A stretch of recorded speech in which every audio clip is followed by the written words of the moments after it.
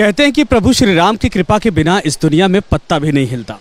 असल में कहानियाँ तो बहुत होती हैं बहुत कृपाएँ भगवान की होती है। बहुत लोगों को आपने देखा होगा कि जब वो अपने पीक पर आए या फिर कहा जाए कि जब उनको ज्ञान की प्राप्ति हुई तो, तो बहुत कुछ उन्होंने ग्रंथों की रचना की और इसके अलावा बहुत कुछ उन्होंने दुनिया को दिया सिखाया। लेकिन बहुत ऐसे कम उदाहरण मिलते हैं जब छोटे बच्चों को भगवान का आशीर्वाद प्राप्त होता है।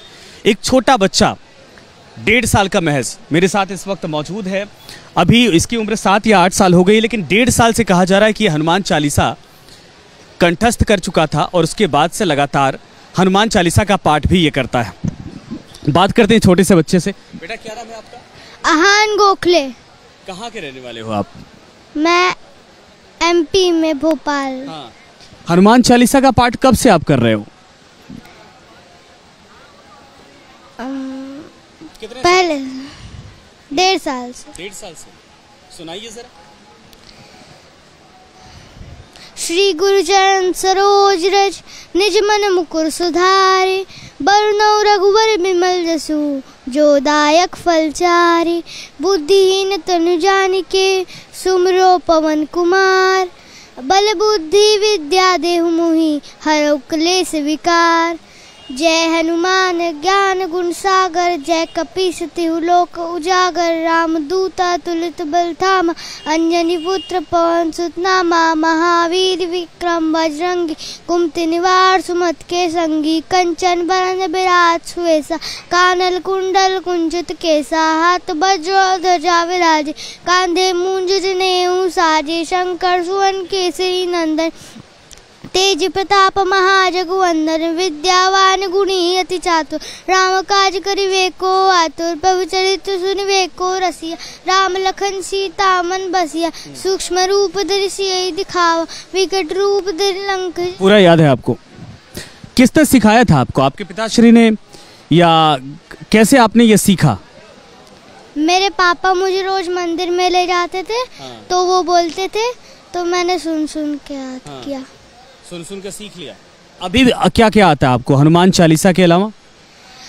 राम रक्षा स्तोत्र भोजन मंत्र श्री राम स्तुति। और क्या आता है?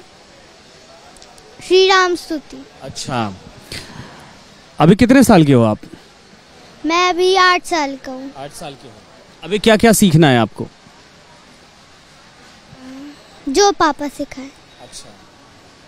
बहुत बढ़िया। ऐसे ही आप सीखते रहो, बहुत आगे जाओगे।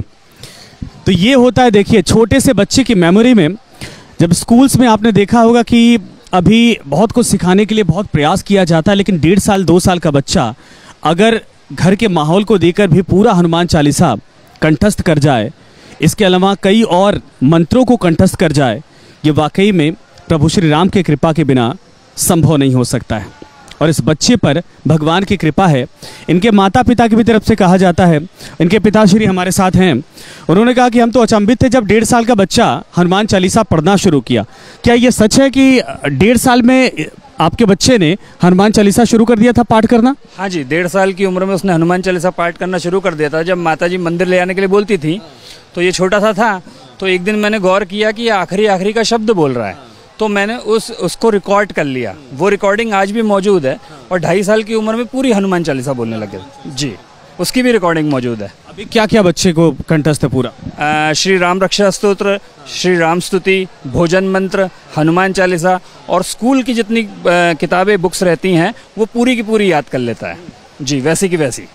अच्छा घर परिवार में ऐसा माहौल था या बच्चे को मेमोरी इस तरीके से कैसे ये तो पूर्ण रूप से हनुमान जी और श्री रामचंद्र जी की और कुलदेवी जी की कृपा है। मुझे भी ध्यान नहीं है कि कैसे हुआ। मैं तो घर से लेट आता घर में लेट आता था। तो माता जी बोलती थी तू लेट आता है रोज दिया जलाता है तो बालक को ले आया कर। तो मैं बालक को ले आता था बहुत छोटा था दो तीन महीने का। और उसको गोदी में रख के मैं अपना दिया बाती करके और श्री राम रक्षा और हनुमान चालीसा बोलता था। अब ये पता नहीं कि ये कब सीख गया। और जैसे ही इसने बोलना प्रारंभ किया ये बोल ही रहा था हनुमान चालीसा और श्री राम रक्षा। बच्चे का नाम क्या है? आहान गोखले। कहाँ के रहने वाले आप लोग हम लोग भोपाल मध्य प्रदेश से आए हैं। मूलतः महाराष्ट्र रत्नागिरी के रहने वाले हैं। कितने साल उम्र है बच्चे की? बच्चे की उम्र अभी आठ साल है नौ साल का हो जाएगा। बहुत बहुत धन्यवाद प्रभु की कृपा है भगवान की कृपा है प्रभु श्री राम की कृपा है आपके बच्चे पर। और ये छोटा बच्चा जैसे मैंने कहा कि बहुत कम उम्र में अगर हनुमान चालीसा समेत कई और मंत्रों का उच्चारण करने लगा है, कंठस्थ है।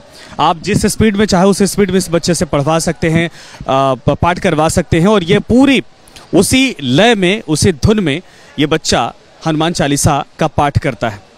तो बिना भगवान की कृपा के ये संभव नहीं। और इसीलिए कहा जाता है कि अयोध्या में जो आ रहा है अलग अलग भांति भांति के रंग देखे जा रहे हैं, जिसमें इस बच्चे की भगवान के प्रति आराधना और जो निष्ठा है वो भी दिख रही है।